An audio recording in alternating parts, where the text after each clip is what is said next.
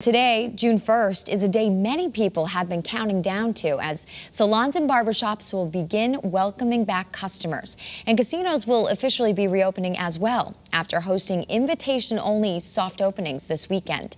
Channel 3 Eyewitness News reporter Eva Zamaris is joining us now live. Eva, what kinds of changes can people expect when they walk into one of these businesses or establishments? Well, good morning to you, Nicole. People can expect to see a number of safety measures in place. Barbershops, hair salons, and casinos have spent time and money to make these changes. A few months ago, hair salons and barbershops closed their doors as the coronavirus swept across Connecticut, impacting communities statewide. Today, June 1st, they'll be welcoming customers back. When you walk into a salon or barbershop, you'll notice some changes. Customers can be seen by appointment only. Waiting rooms will be closed, and chairs or workstations will be at least six feet apart.